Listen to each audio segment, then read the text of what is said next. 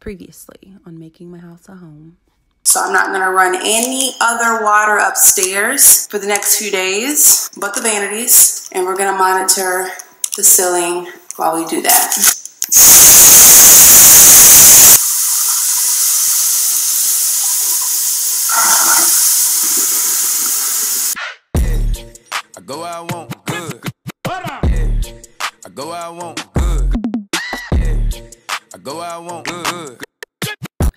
Hello, how are you? So I have a mini confession.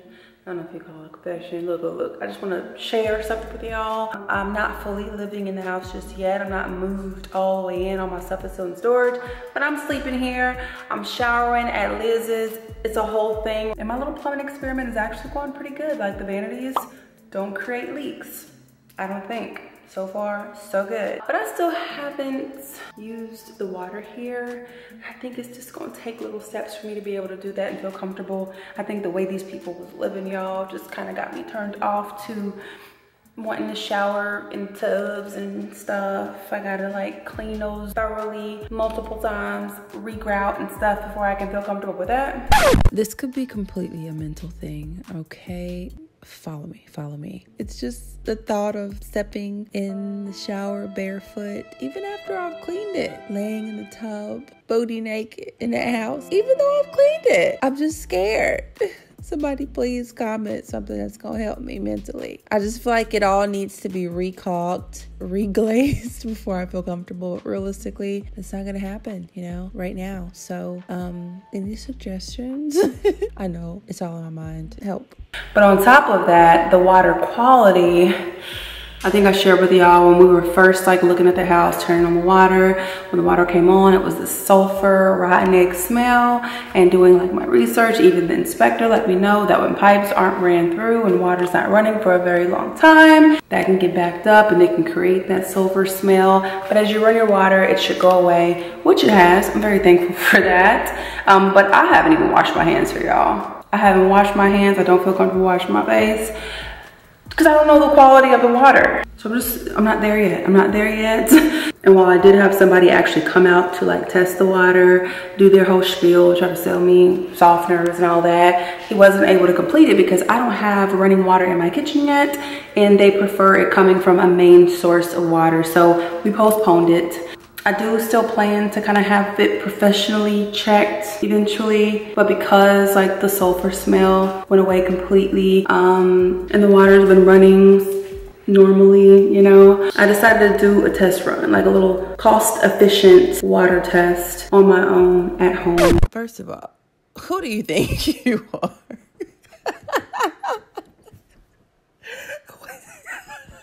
so let me show you what we got and I'm gonna do it with y'all. Mm -hmm.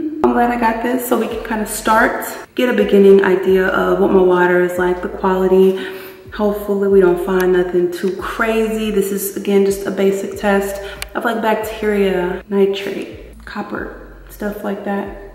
I'm not even gonna pretend to know like all that, but we're gonna test it. If you're not familiar with this channel, I wanna welcome you. I have purchased my first home and it is somewhat of a fixer-upper, has great bones, has great potential, but was not taken care of at all. So I have been documenting my entire process of making this house my own home. And this is just a next level of where we are in the process. So if you are interested in that at all, I got a whole playlist of everything I've been doing from plumbing to light fixtures to this and that. I've done so much of it on my own and there's so so, so, so, so, so much more to do. Um, if that's something that you enjoy, feel free to subscribe, join the family. I hope to share my journey in hopes that it helps somebody, teaches you something, gives you good vibes. That's all we got going on over here.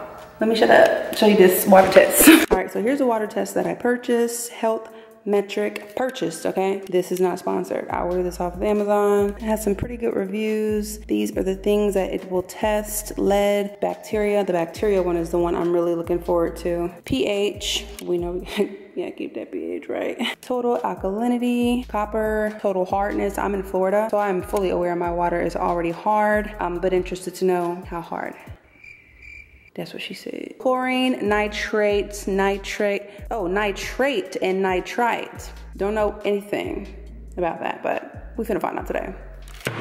All right, all right, let's get this baby open. Doing this with one hand. Don't judge me. Comes with the instruction booklet.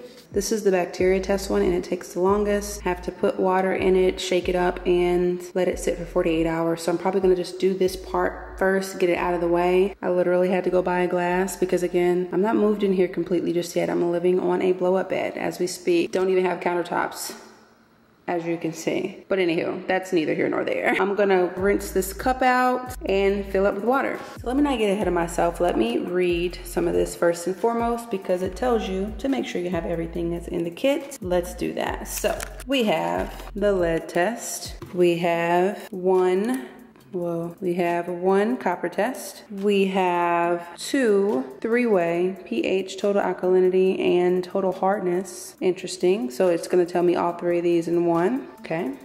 We have two chlorine tests. We have two nitrate and nitrite tests. Oh yeah, the strip has multiple colors. That's why there's several in one strip. I was like, wait, what?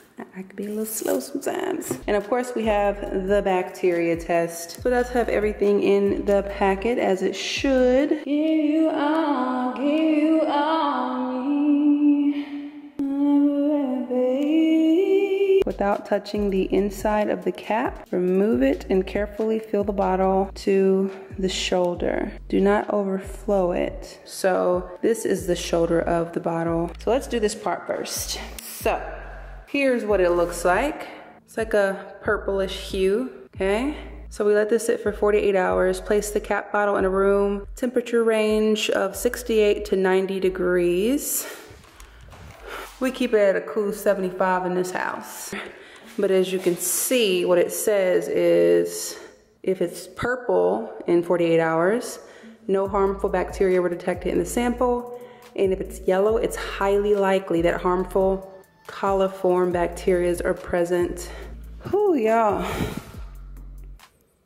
That makes me nervous. But we'll check on you in 48 hours. It is Sunday, October the 11th at 6.04 p.m. So Monday, Tuesday, we're gonna check Tuesday at 6. So what's next? Let's do the lead test because I think that takes a little bit longer too. So for the lead test, we open the foil pouch and take out the contents.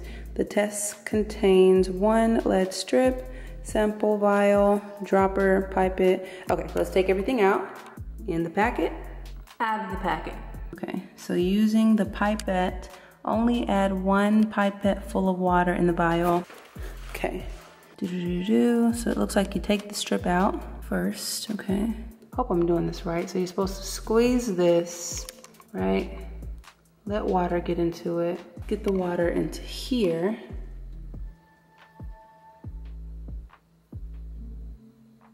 I'm confused because I'm just gonna follow the instructions because this don't look like a lot of water, but okay. Following the instructions. So it says wait 10 minutes. Do not disturb the strip or vial during this time. 10 minutes. Where's my phone? Oh God, I'm panicking. Oh, where's my phone? Okay, here we go. It is 6.09. We'll be back at 6. Meanwhile, I'm gonna just refill this cup, even though I think it's still, you know, not contaminated.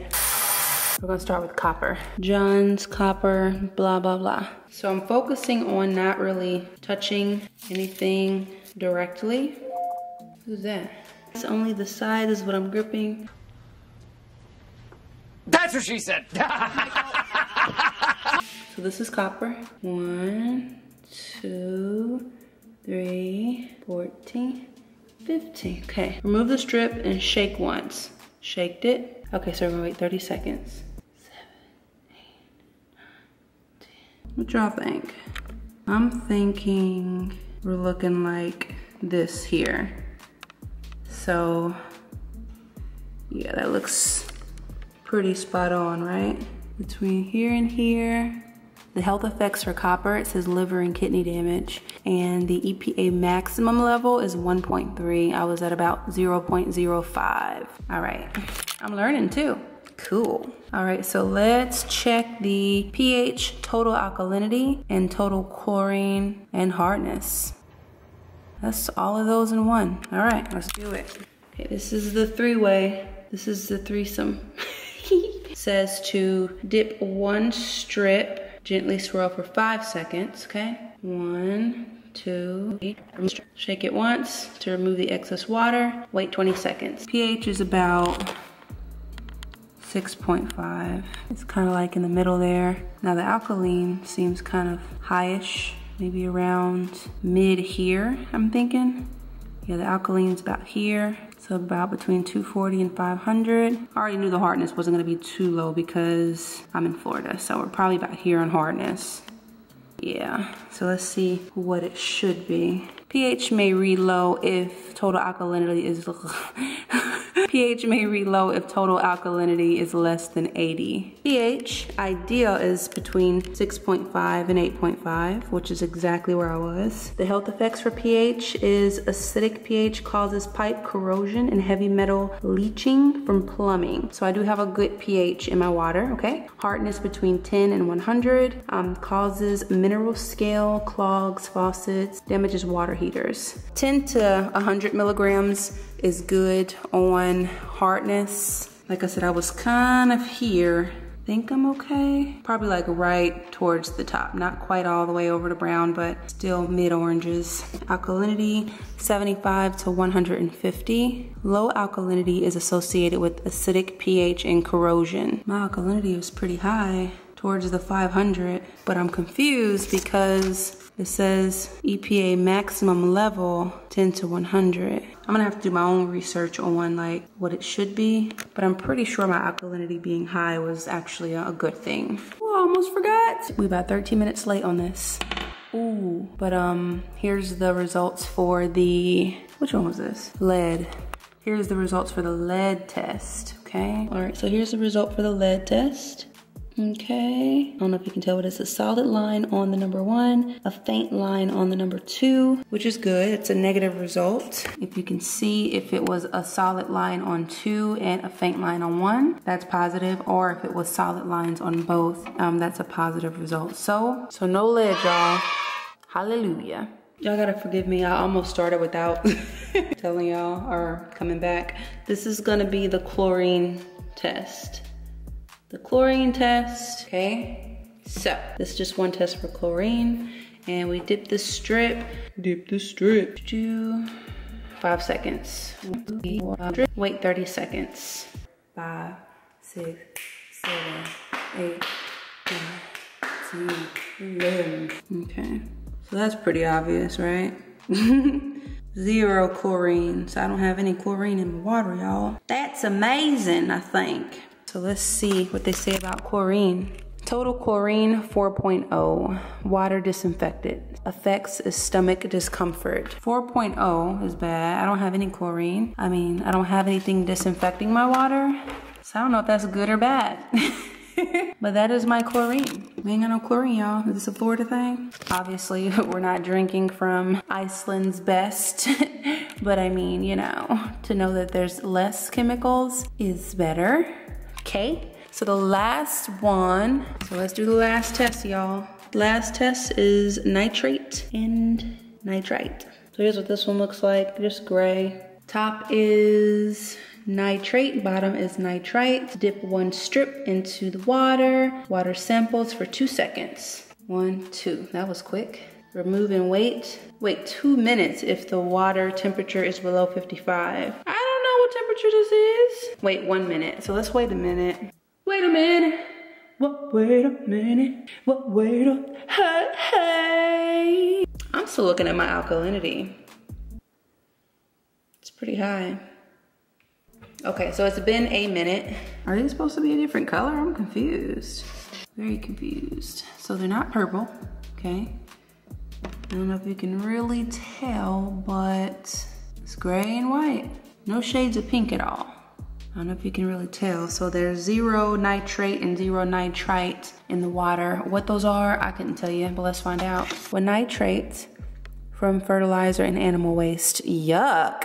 They're both a source from fertilizer and animal waste. Now, the health effects of nitrate is blue baby syndrome, age six and below, illness and death. And nitrite is blue baby syndrome and shortness of breath. So, this is something you don't want at all. It says the EPA maximum level is 10 and the other is 1. I don't have any shades of pink on here, okay? Very thankful for that. We don't have any nitrate or nitrite, which is amazing. Okay, that's good. I mean, I'm not going to grab a glass of water to drink, but I'll keep y'all updated on this bad boy. See y'all in 48 hours. I'll put that at the end of this video. But interesting. I'm glad that I did it. Did like completely put me at ease, this at-home kit, no, but it definitely made me feel a little more comfortable um, with my water. So I'm thankful for that, the little things. I'm gonna clean this up, y'all. Finish the rest of my day.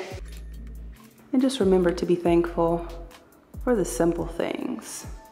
You know, the simple stuff. Ignore what I miss. You don't know my life. Oh yeah, if you like this, give it a thumbs up. Do it! Share it. Share this video with your friend, not just be drinking tap water out of anywhere like it's just okay to do. Share this with somebody who despises tap water and is like, no, not gonna do it regardless, ever. Share this with anybody that you know that might have quality concerns in their water. Share this with somebody who just bought a house and maybe aren't even going to look at the water. They're just gonna hop in the shower, start brushing their teeth and, and pray on it. Share it. Good morning. Let's test. Let's check. The bacteria test. It's actually a little bit later than um, 48 hours because because I was working when that 48 hour mark hit. We are nice and purple, so no bacteria in the water. Yay! I go where I want, good. Yeah. I go I want, good. Yeah. I go where I want, good.